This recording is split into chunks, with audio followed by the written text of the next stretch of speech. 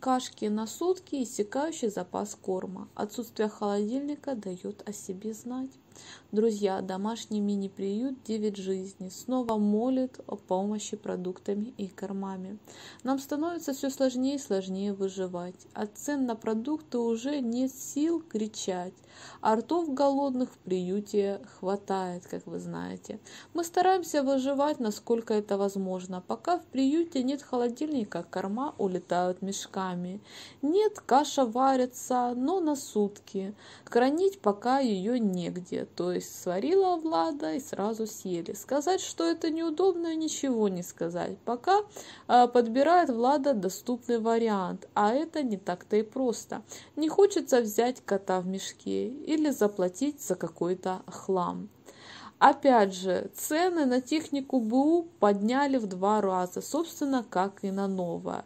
Также огромная проблема найти грузовую машину и грузчиков.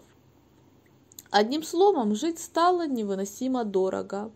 А особенности, когда на одних плечах такая пушистая ответственность, да еще и в таком количестве. У нас по корму уже ноль. Правда, есть мешок рациона для уличных, но делить будет волонтер его почти на всех.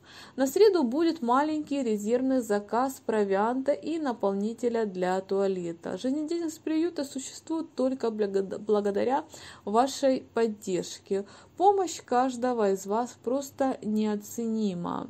Друзья, дорогие вы наши, не забывайте, пожалуйста, о тех, кому сейчас совсем нелегко. Нам очень страшно от войны, и так уже хочется долгожданного мира, ясного э, неба. Животные в ежедневном стрессе от взрывов, да и хозяйка на нервах от всего происходящего.